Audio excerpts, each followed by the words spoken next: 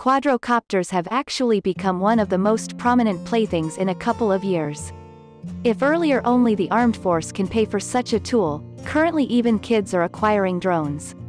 Allows have a look at just how to choose a quadcopter to delight in a secure trip.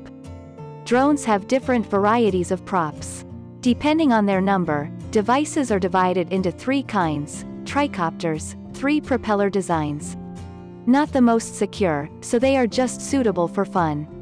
A great image is unlikely to be taken.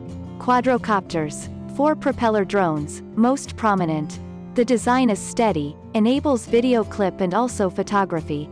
Hexacopters and also octocopters, these are pricey and also hefty automobiles that can lug freight.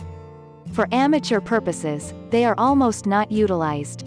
Quadcopters can be of various weights. Mini drones appropriate for a child and launch inside the apartment or condo. Their weight can be 50 grams. They are great for exercising drone control skills. Designs considering as much as 500 grams are thought about tool in size.